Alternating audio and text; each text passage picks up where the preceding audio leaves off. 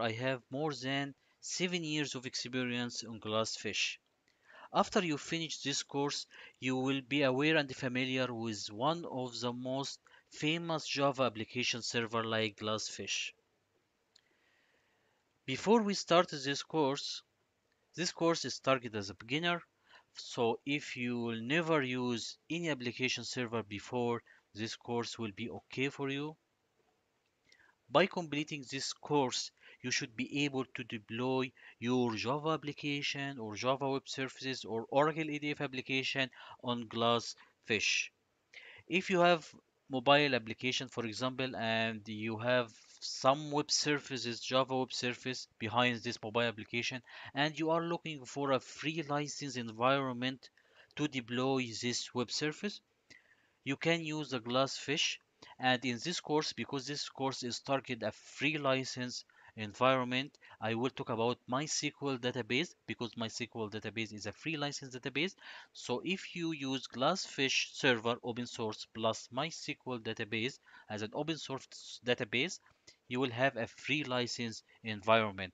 So you can easily create a Java application like using uh, Struts, using Spring, using Oracle ADF, any uh, Java application using any Java tools or Java framework or you have Java web services and you are looking for a free license environment to deploy this Java application web service, this course will help you to create this environment. Your PC should have at least 2G free RAM. I will go quickly through the overview, course overview. I will talk about introduction to application server. Then I will talk about Glassfish server.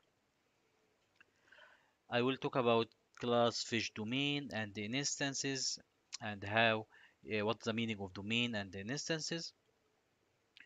We will download and install JDK for the Glassfish. Then we will download Glassfish open source server. I will go quickly through the Glassfish folder structure and I will explain you the folder structure of the Glassfish. Then I will go more deeply inside the Glassfish and I will talk some administrative administrative configuration about Glassfish. I will talk about Glassfish command lines and how you can write command lines to uh, start, stop, and create any object in Glassfish. We will start Glassfish admin server. Then I will talk, give you an overview about the Glassfish console. I will show you how you can create Glassfish instance and how you can configure this instance, configure the Java memory and the port for each instance. I will create a JDBC data connection and I will show you how you can create a data source on Glassfish. In this course, I will uh, download and install MySQL database to create a fully complete free license environment and I will show you how you can create code database connection from Glassfish to MySQL.